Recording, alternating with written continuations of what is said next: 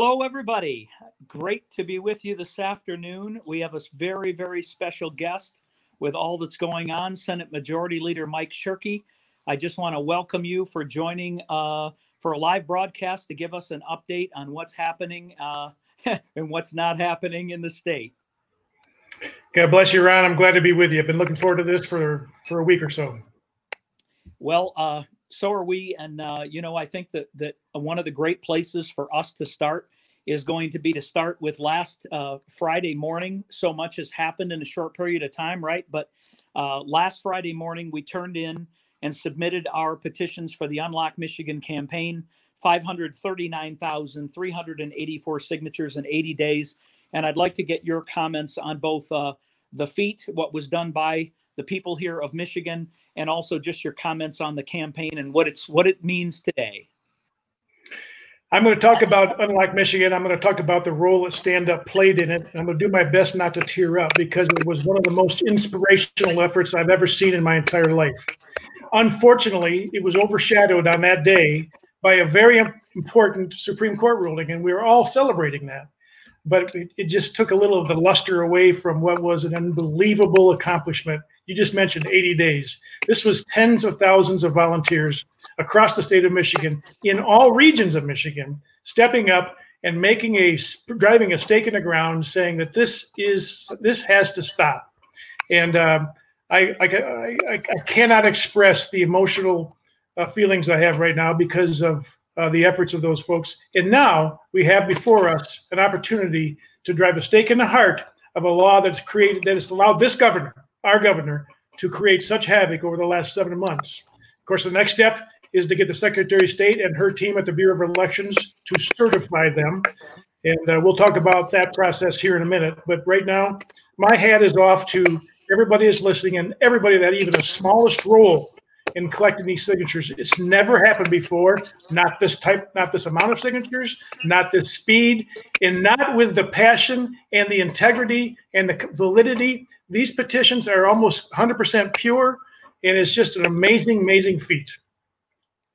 Well, um, and, and I wanted to make sure we took that time because last Friday we did, but by the time we got home from Lansing, we had a new decision and we were we were celebrating something entirely different, which we're going to talk about in a couple minutes. But for all of you out there, since we're on both the Stand Up Michigan page, we're on the Unlock Michigan page, we're on our YouTube channel.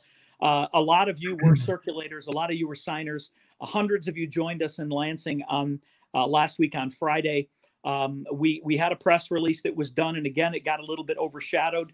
Um, I did do some covering of that on Saturday, uh, Mike, and and uh, explained uh, both how far we've gotten and and the uh, the uh, the barriers that we ran into that the governor attempted to do. And I just want to briefly talk about uh, her attempt earlier on, or the attorney general's attempt to to invalidate some of the things with this Eric Singer and and what we found out with this individual Gretchen Hertz. And I just like to get your comments on those uh, those those three inept efforts to discredit uh, all of the work that the citizens of Michigan uh, put out with with uh, 60,000 volunteer signature or uh, circulators, and uh, I'd like to have you weigh in a bit on that for the people too.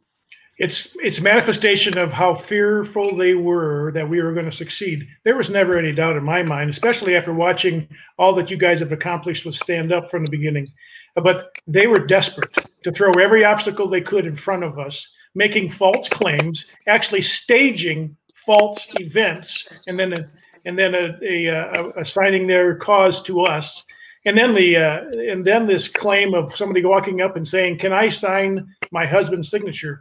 She's an attorney, and uh, wouldn't surprise me that somebody takes that video that was taken and submits that to the the uh, state bar because an attorney uh, probably shouldn't be breaking the law. And that was a clear, clear and unequivocal breaking of a election law. And the governor, uh, you know, she also uh, was personally involved in recruiting the UAW members to go out and create havoc for petition gatherers. Uh, but we didn't take the bait in any of those. We just step, kept, stayed focused and did our job. I should say, you guys did our did the job. Uh, I was just I called myself the number one cheerleader. That's what I claim. And uh, everything else was done by people across the state of Michigan. And it'll be, we're going to get some pins made up, some lapel pins that say, I helped unlock Michigan 2020. They're going to be little keys, little magnets, and I'm going to make them available for anybody that wants one. Well, that is uh, incredible, and and I have to say, um, isn't it something that we did have uh, sixty thousand volunteer circulators and many more that were handed sheets, and they actually couldn't find any real unlawful activity. They couldn't find any real anything to discredit what was a true citizens petition initiative. And we've been explaining to the people over the last uh, five or six weeks um, that that citizen-led initiatives doesn't mean that you're not working with circulators in most cases. Uh, the, the I don't know that there's ever been an effort that has had this many volunteers who have actually done the work themselves, but it shows you the passion uh, for uh, individual liberty in the state. It shows you the anger and frustration that we faced uh, going all the way back uh, into March, but certainly in April. And um, uh, and I, I we, we not only had to talk about it. So let's move with that to uh, they've been turned into the Secretary of State. Um, people have said, "What does it mean now?" And obviously, we know what happened in the afternoon. But um, uh, it is it is vital that that law be repealed. It didn't change anything. All it did was prove more uh, validity that it needed to be repealed. So I'd like to hear you talk about what the process is now, what we've done so far, and what we're going to do to get this done quickly, if possible. So we're gonna. I'm gonna tie two thing, two very important things together. One is the topic of why it's important to follow through, and the other is the other actions. The other actions are related to this next election cycle uh, to double down on the importance of uh, elections and, and, specifically the Supreme Court. So, first of all, uh, just because the Supreme Court, today's current Supreme Court, ruled that law is unconstitutional, does not deter in any way the importance of us following through and actually repealing the law and taking it off the books. And why is that important? Because a future Supreme Court, if left on the books, could reverse the decision. And uh, it would be a shame, shame and shameful for us to lose all the effort and energy and and uh, and um, organization behind getting these signatures collected. And which now I'm tying it to the second topic, and that is this election cycle in November. We actually have two Supreme Court justices positions that need to be filled, and we have to get at least one of them filled by rule of law judges. And so there are two choices I'm going to be very clear on who I recommend. The, the two rule of law ju- judges that are in the race and on November election are Brock Swartzle and Mary Kelly. Uh, I am emphatically supporting Brock. I worked personally with Brock when I was uh, serving in the House. He's brilliant and he is rock solid, consistent as a constitutional attorney. And so, to we have to repeal the law so that a future Supreme Court cannot reverse the, the rule. And then a second level of insurance is to make sure we keep uh, four good rule of law uh, judges on the Supreme Court after the November 3rd election. Brock Swartzle, Mary Kelly. So and the and the reason is um, is that uh, uh, the the majority opinion here was done by uh, by Justice Markman, correct? Uh, and he is uh, aged out. Is that correct? Retiring. Age limited. Yep, okay, age, age limited. limited. Yep. So he is retiring, which means we need to replace someone with uh, with a like-minded judge, which uh, we think Brock Swartzle is. Mary Kelly certainly would also be a great person. And then there is one individual justice, McCormack, who actually uh, was uh, against. She was voting in the three side. Would have left this law in place and allowed the unilateral use of this for as long as the governor saw fit. Uh, and she is up for reelection as well. Am I right? Absolutely. And we have to admit that incumbent judges, by and large, have a pretty good success story on being reelected. But in this particular case, because of the highlighting and the importance of this particular ruling, uh, we should go overboard to maybe change that trend and just say simply say people should just vote. They have two votes, two votes to make Supreme Court. Swartzle and Kelly and maybe we can upend the Chief Justice and maybe she won't be reelected. It's a long shot, but at the very least, we want to make sure that we get the second position on this election.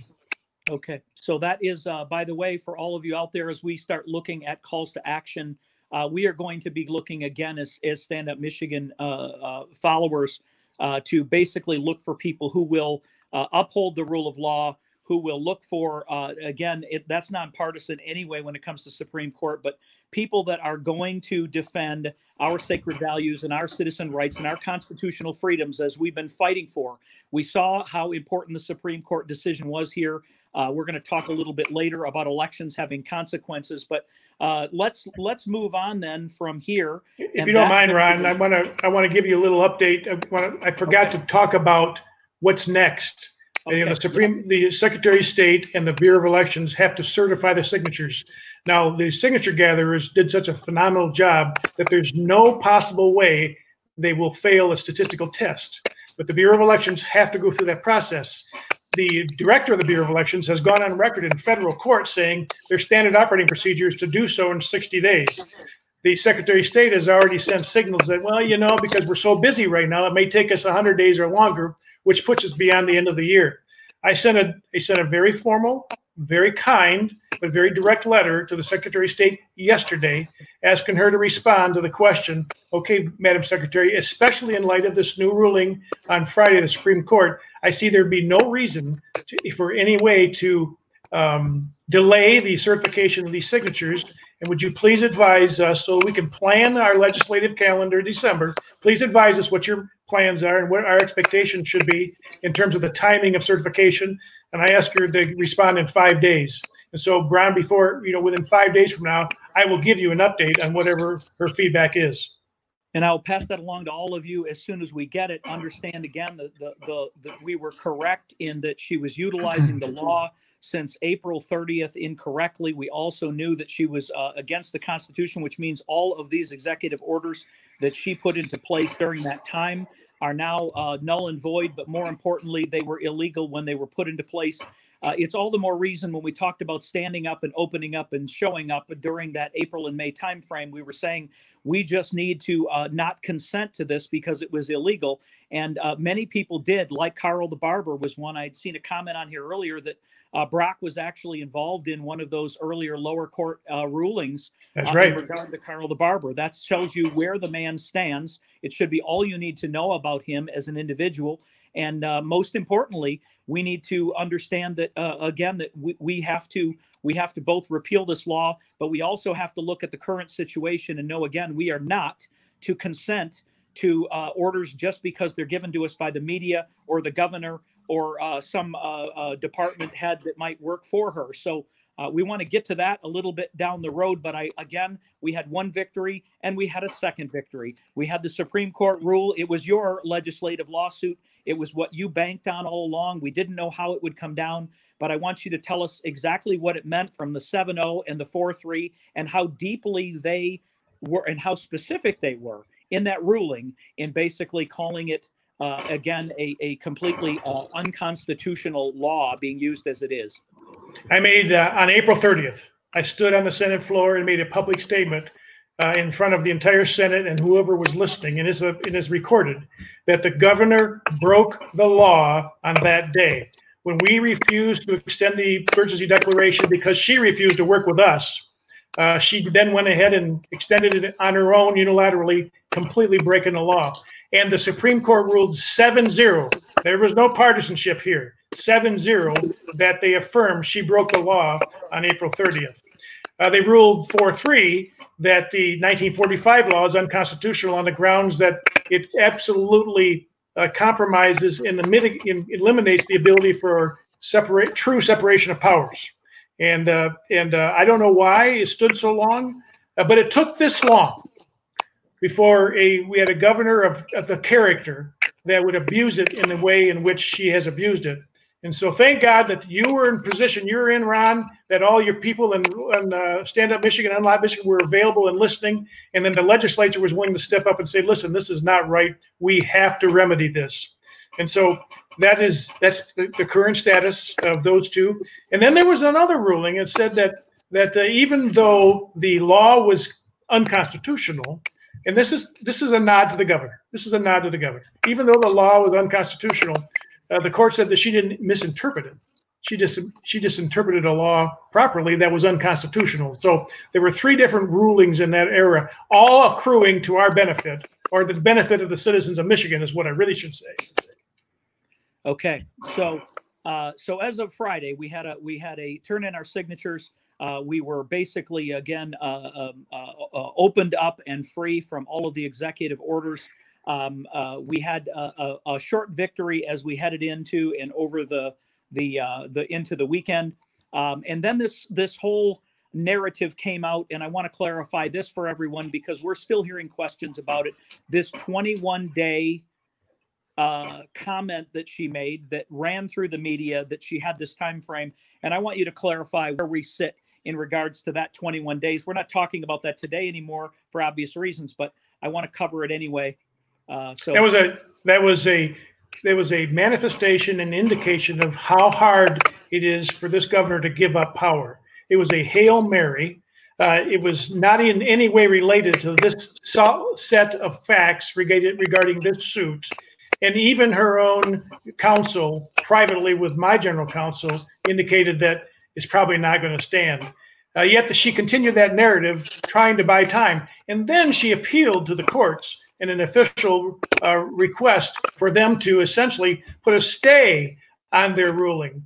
Meaning, and think about the absurdity of this a governor who's sworn to follow the law and uphold our Constitution is asking a Supreme Court to put a stay on a ruling where they rule that something is unconstitutional. In other words, a governor is asking to continue to do unconstitutional things for 21 days. Uh, we filed today, the legislature filed today, uh, opposing that for obvious reasons. Uh, but the, the fact of the matter is, there is no there is no basis for this 21 day notion, and everybody everybody knows it. I think, except for the governor.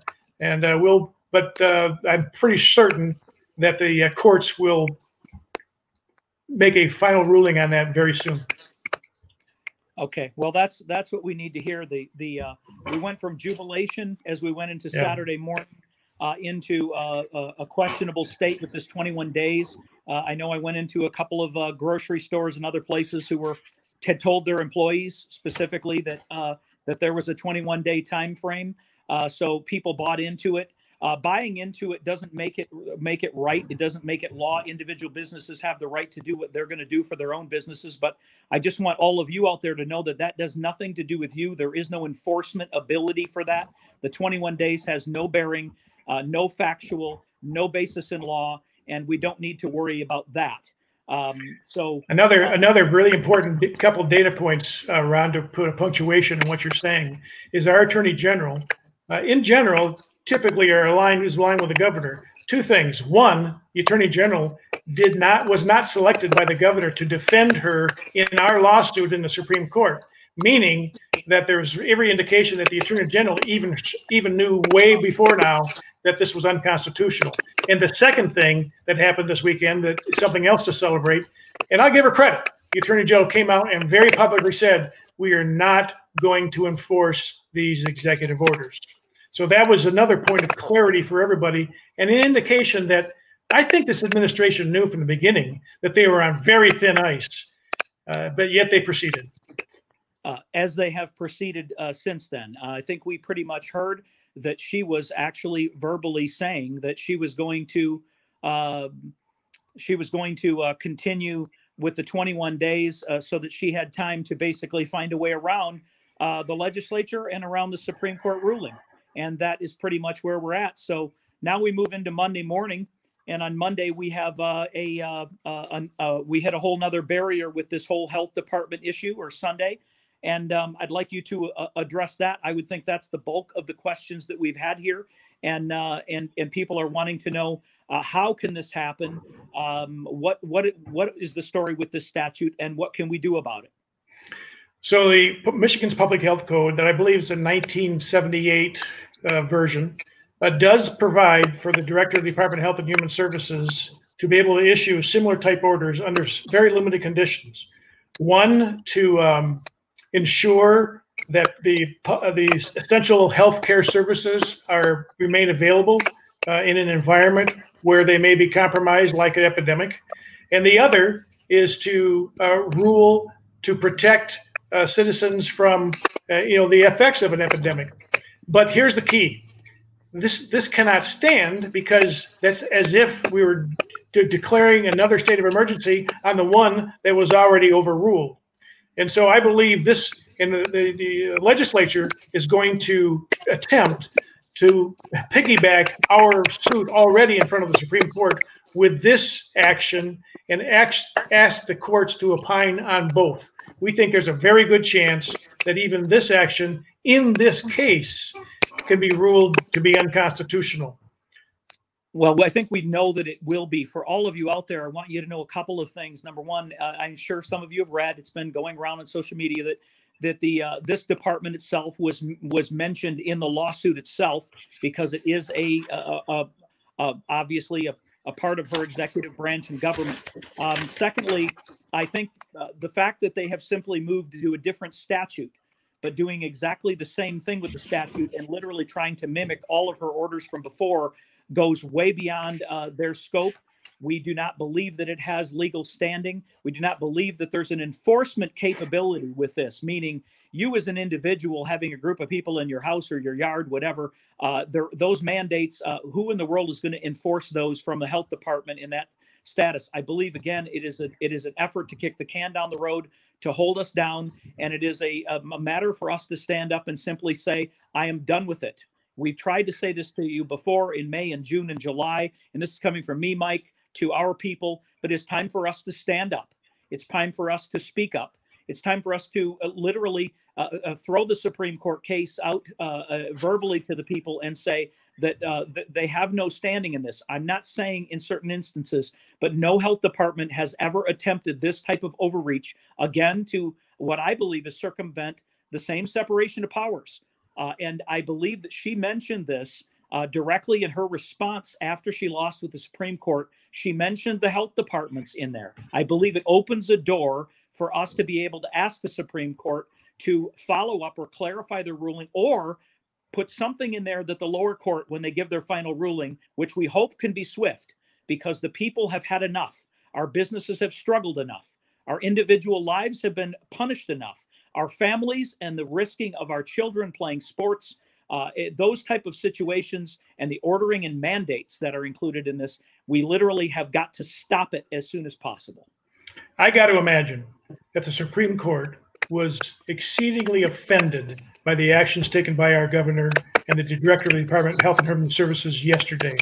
And this governor is not going to stop now. She's going to continue to find ways to circumvent the regular ordered legislative process, circumvent the separation of powers, circumvent our Constitution.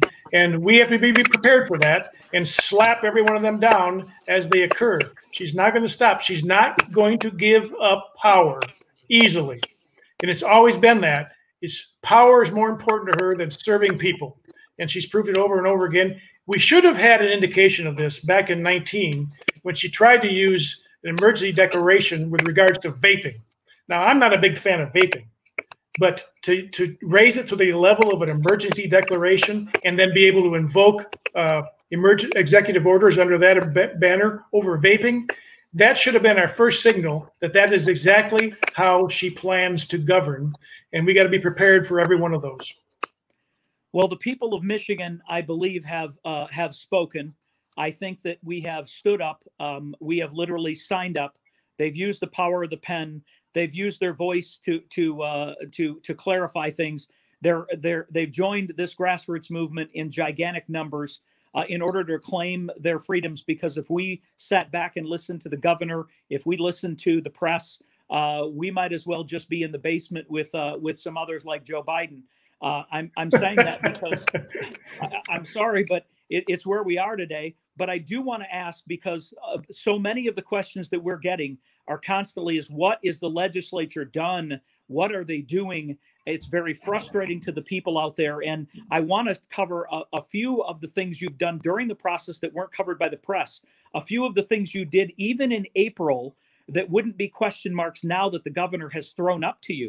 And when I say that, I mean the, the issues like you have actually voted and passed some bills that would have codified some things and given a clear path as to what we would be doing now and what the governor did on those cases that she's now acting like uh, you haven't done anything on it. So she's she's claiming that the confusion that Michigan citizens are feeling right now is a result of the legislature. and it is 180 degrees off. The confusion is because she has not embraced and used the legislature properly, partnered with us, giving us an equal uh, position at the table. We've sent her more than a dozen bills that, in one way or another, would have helped codify some of the, legitimate executive orders and put them in place to protect citizens. And all she's done is either shun them or veto them over and over and over again. You know, she's making a big deal now about the, uh, unemployment insurance we have already sent her a bill passed by both chambers to, to codify precisely what she wants to do, and she vetoed it. And so this there's this, and by the way, the, the, the most famous one is that we sent her a bill that basically codified the nursing home recommendations from her own task force. And guess what she did? She vetoed it. And so to me, that's proof positive that she could say one thing about wanting to work with the legislature, but there's no evidence of that. Uh, we have had a couple of recent victories. I mean, we worked together on a state a return to school, and that was a nice bipartisan effort. And we did to the budget. Of course, that's that has got uh, external pressure because the Constitution says we have to do a budget in a, in a certain amount of time. But there's a long list of examples where she's basically shunned the legislature, and uh, even to the point of vetoing bills that essentially align perfectly with what she's been trying to do, and then blame us for not taking action. Well, and um, uh, I, uh, again, I don't even know where to start with all of that. Um, uh, again, the press doesn't want to cover the issues that she does. They don't want to talk about the nursing home deaths. Uh, they don't want to talk about uh, the data and the science that have not been released to you, even to this day. Um, there is a lot of accountability that is needed to be done, and I think as the the uh, these the return to the equal branches of government and, and, mm-hmm. and regular work. Of course, she worked with you on the school choice because the MEA needed to make sure that uh, no matter what those school counts were, we could run back to a year ago and be able to count them all so that we would not have any layoffs. We'd be paying them in full. And I have, I love teachers. I have a lot of people I know that are teachers. But the fact is, uh, you know, they needed to be looking out for the kids. Uh, and and in this case, at least we did return with that decision the power of the local school districts. Unfortunately, many of them are quickly buying into this health department regulation and rules. There have been some, uh, some schools and school boards that have spoken up and said our kids will not wear masks while playing sports. We encourage others, and for you to use the examples of those school boards and get out there and spread the word because they do not have to follow this. Uh, they have decisions to make individually, and we're encouraging them to do that and think of again what is the best uh, situation to both stay safe, but but to be able to protect our, our kids through this process. The executive orders are null and void now. Uh, the statute that we passed providing guidelines for schools for them to set up their own policies. And that's why I'm encouraging schools to do, frankly, not even beyond schools, businesses and organizations. Establish your own policies. And then citizens, and this is my this is my uh, exhortation to all your listeners and all your uh, like-minded folks if a business says, you know, I'd like people to wear a mask to come into this business, that is their prerogative, and we should do our best to honor that or not patronize them or not patronize. That is a local, independent, individual decision. So I'm glad that you brought that up because we need to get on the record for all these people right now. I want to hear you state that the uh, that the Republican uh, caucus, at least in the Senate, is absolutely not going to support any kind of mask mandate unequivocally. I can't speak for the House, but I'm pretty darn confident that they are of like mind. And uh, this is going to be this is going to be the, the next big battle uh, on this. And believe me when I say this, I'm not suggesting that people don't they have the right to decide whether or not they want to wear a mask, and businesses have a right to determine whether they want patrons to wear a mask.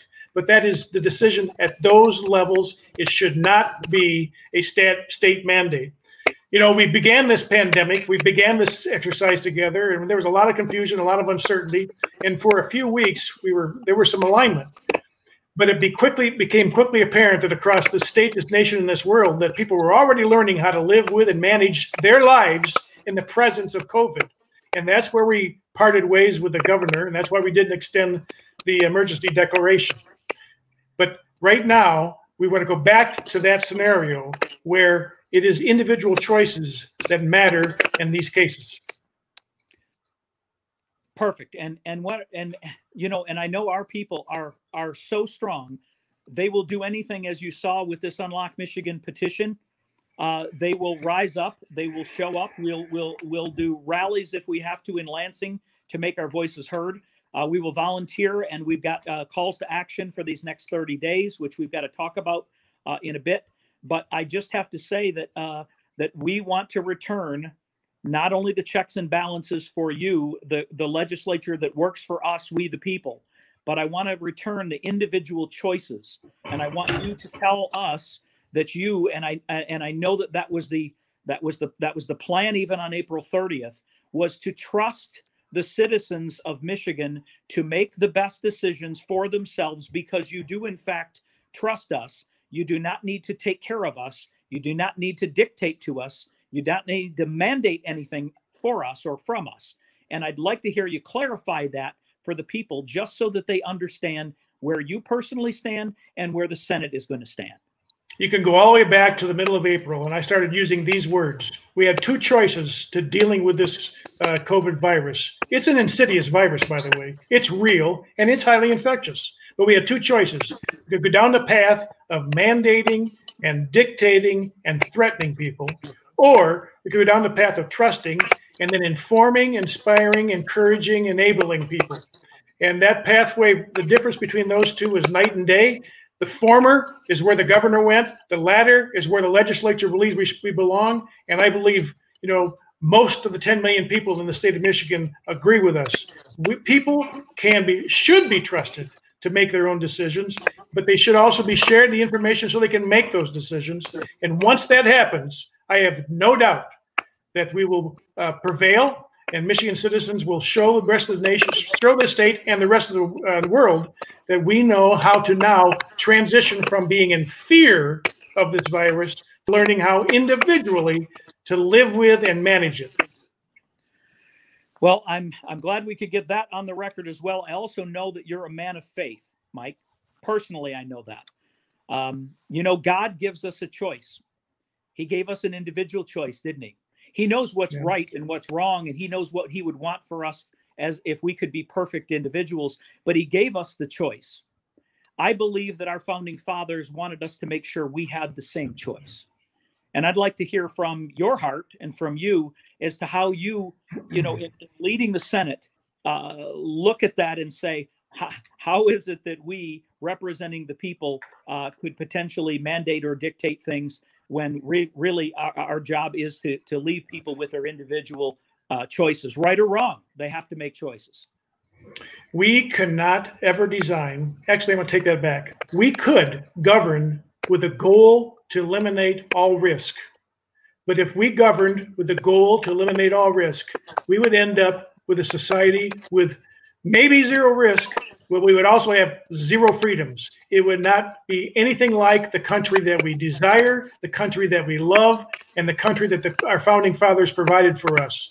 So every time we contemplate changing a law or passing a law, one of the first considerations is how does this affect freedom? And uh, that is a, a, constant theme. And every time we uh, contemplate any kind of uh, legislative action, you can ask my colleagues in the Senate uh, I hammer on this all the time. And but there's room for disagreement on some people saying, well, you did that law and it does infringe on some of my freedoms. It's not going to be a perfect situation.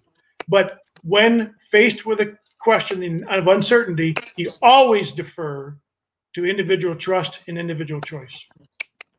And I think that that's what the people want. I, I, I we've got uh, hundreds of comments that are coming in here and questions that are coming in here again, uh, everyone, I have to tell you, the majority of them are just plain angry with uh, the fact that they that they feel like, um, you know, obvious. So many have lost their businesses. So many have uh, had their families affected. They can't go to work. They've got to teach their kids from home. All of these things in the name of a virus that, for the majority of us, has a 99% plus, uh, um, you know, survival rate, uh, regardless of age and getting it. And I think we're just fed up with the whole process. But I do want to cover and move over. We talked about the Supreme Court, um, but we do have to have the votes in the legislature to repeal this law. Uh, we hope it certainly will get done this year. There should be no reason it wouldn't. Um, however, elections have consequences. Uh, and and right now uh, we have a governor, we have a we have an attorney general, we have a secretary of state that are all uh, working in tandem uh, against what we believe is what we the people believe uh, in, in in regards to our freedoms. Um, uh, we do need to uh, uh, both get out the vote. We need to uh, secure the House, and I'd like to hear your your thoughts on that and how important that is going into uh, November. I pray that we are allowed to vote in December on the petition drive to repeal the law. I can't control that process. The Secretary of State has a lot of control on that. And if it happens to bleed over until 2021, we need a majority in both chambers to be able to, to uh, complete that circle and repeal it then. The only downside to that, of course, is it delays the implementation. Uh, that's not what I want, but that is how why it's so important for all of us to focus our energies right now. The Supreme Court race and the House races. And uh, I am going to get partisan now. You don't have to, but I am. We have to have the to retain the majority of Republicans in the House to partner with us in the Senate, so we can be the, frankly, be the the lifeline prohibiting this governor from continuing to do the kinds of things that has caused so much havoc and wrecked so many livelihoods in Michigan. So I can't emphasize enough.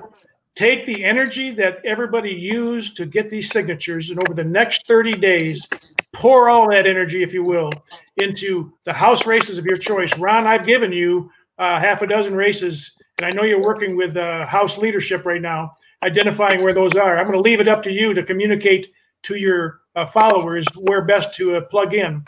But everybody, please, if you could focus your energy that you put into this unlock petition, unlock Michigan petition drive, and put it into the House races to secure a Republican majority uh, come November, then uh, that sets us up to be best prepared to mitigate the kinds of things that we now know we have to expect out of this administration.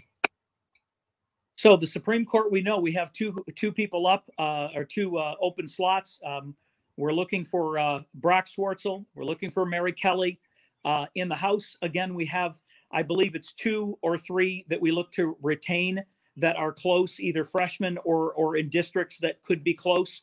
Um, we were going to, and we will again through email and through uh, we will talk about them in lives but we will uh, the individual races will be providing you links we want you to join our email list so we can uh, we can add you to that and and we will con- connect with you through there as well as our locals with those races that we need help with we may need help knocking on doors making phone calls uh, texting campaigns some different things we are talking with some people in leadership in the house uh, that will uh, guide us into those races that need help uh, we are getting those people on record that they will uh, obviously vote. Very important. The 1945 law. My question is now: is what Democrat? You have to all go to the Democrat running in your district and say you now have a law that has been con- considered entirely, entirely, unilaterally unconstitutional.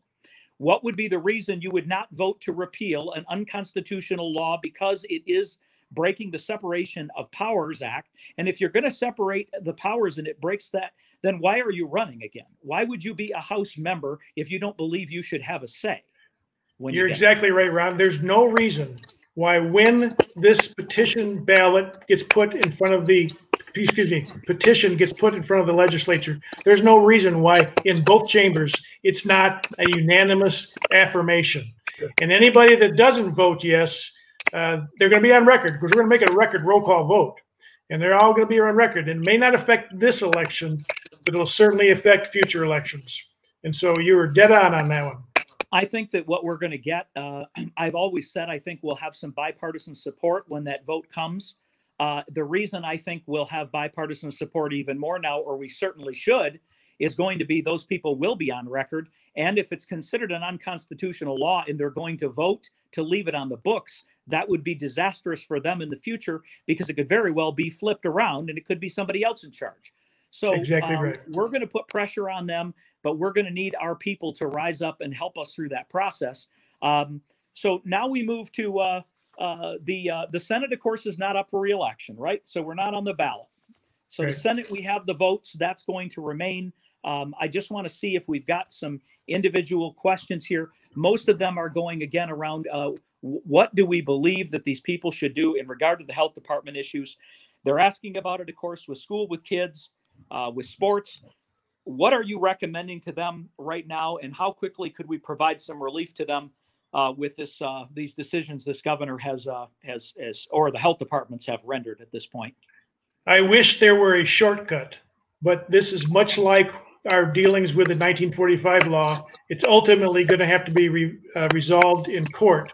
In the meantime, my recommendation is honor the policies of the organizations, businesses, institutions, schools that they have in place.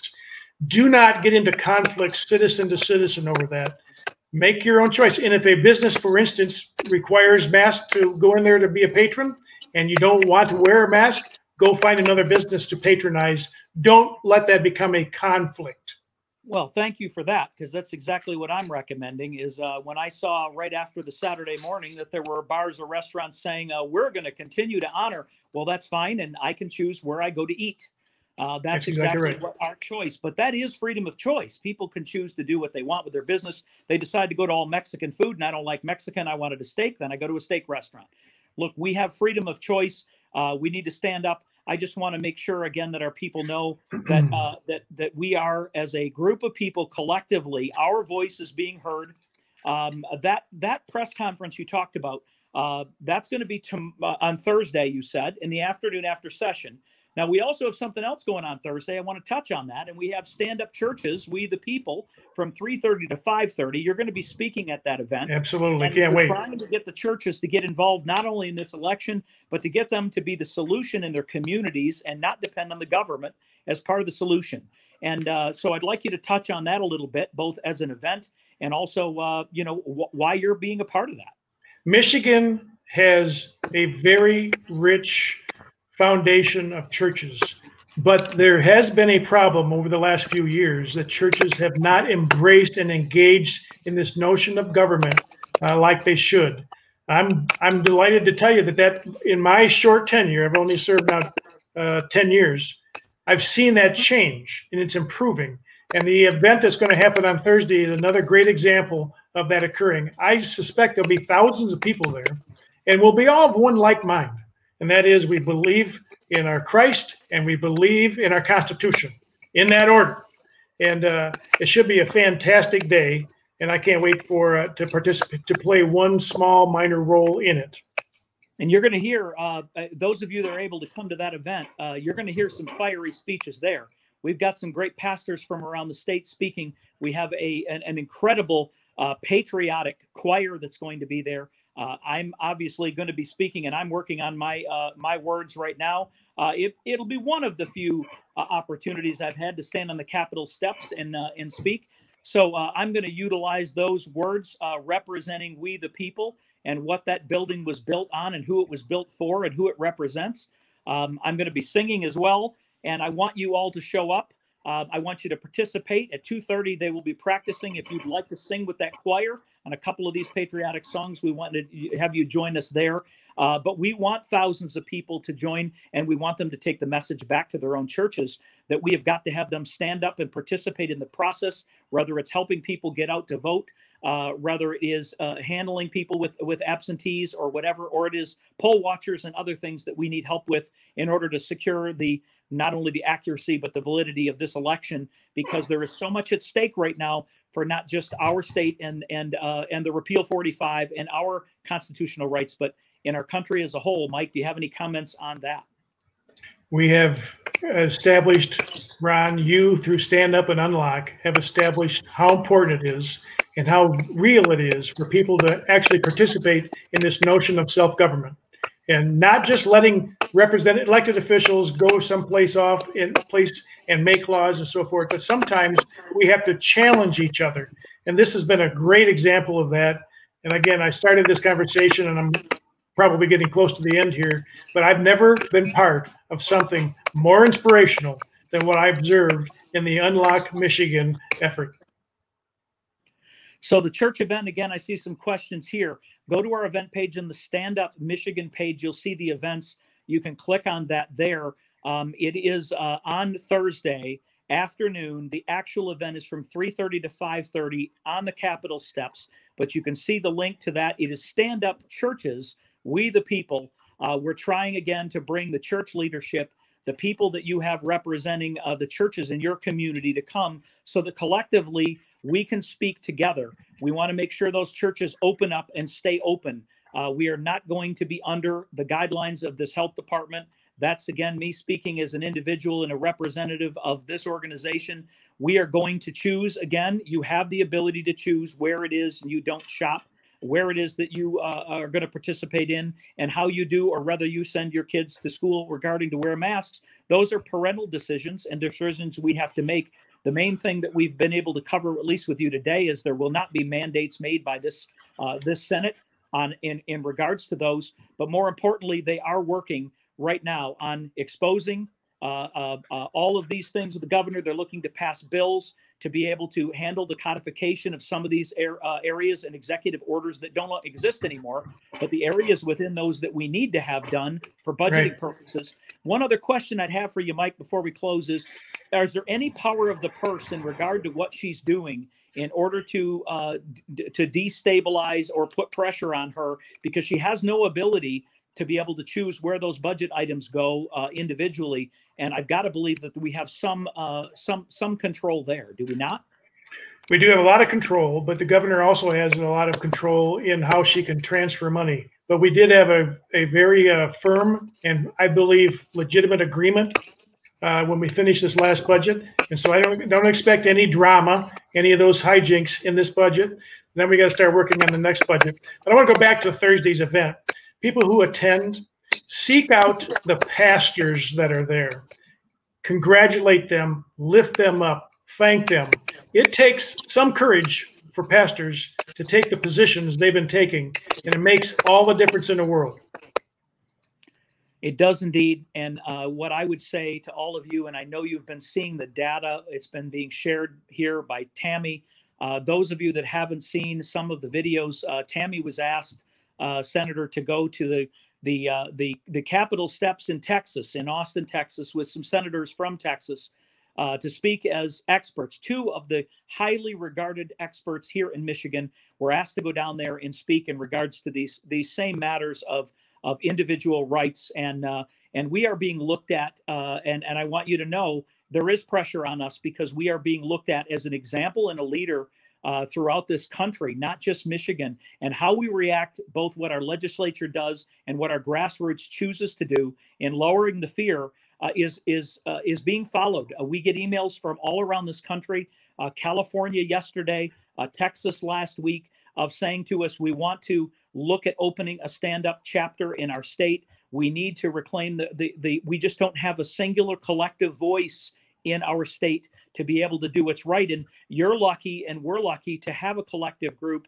that can that can speak volumes and show up. Uh, obviously, in these 30 days, we have got work to do, and uh, and I'd just like uh, to to have you close with just a few more words to to uh, the people out here in Michigan as a whole, to the Stand Up Michigan people, and um, and again, just one more uh, final invite to the event in Lansing where they'll get to hear you and some others speak. Thursday afternoon, 2.30 to 5.30. It's going to be a fantastic gathering. I've already looked at the weather. There's going to be no excuses for not showing up from a weather standpoint. We're going to celebrate our beliefs and we're going to celebrate our Constitution. We're going to celebrate our freedoms. We're going to demonstrate what self-government really looks like and why it's important for people to be involved. And to the point of use, you and your organization and your tens of thousands of followers around, you are indeed under scrutiny because you've been successful and you've passed every test. So continue doing what you're doing, and God bless you. All right. Thank you, Mike. I appreciate your time. And thank you all for joining. Share this video. Obviously, it's on all of the platforms. We wanted to just, again, continue to give you the clear and the truthful information as best as we have it. We're in difficult times. We're facing evil in some ways. I totally believe it. I think some of the decisions that have been made and, and some of the, the ways that it affects us spiritually, the way it affects us mm-hmm. emotionally, is evil. I do not believe that it is of God, and it was an attempt to take away the victory and the faith that we all used together in order to accomplish the things we've accomplished today. But just to let you know, as we've said many times, we're not done. It is about we, the people. Uh, Mike represents us.